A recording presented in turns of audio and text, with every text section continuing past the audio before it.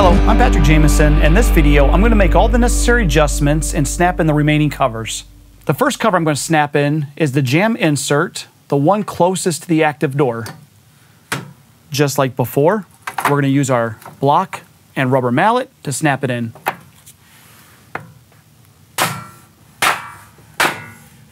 The other jamb insert is this one that will also cover the Z-clip.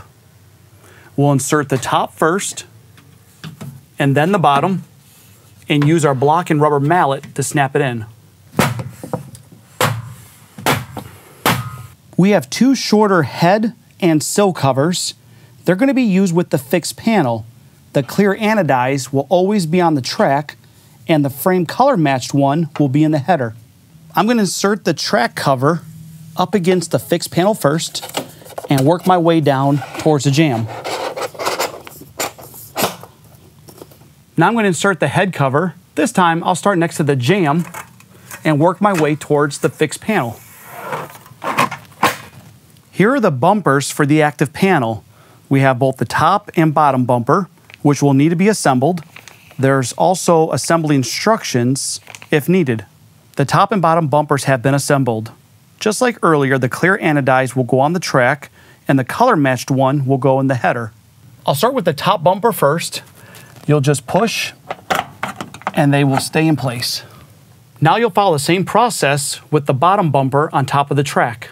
One of the adjustments you can make on the dual mortise lock is extending or retrieving these latches.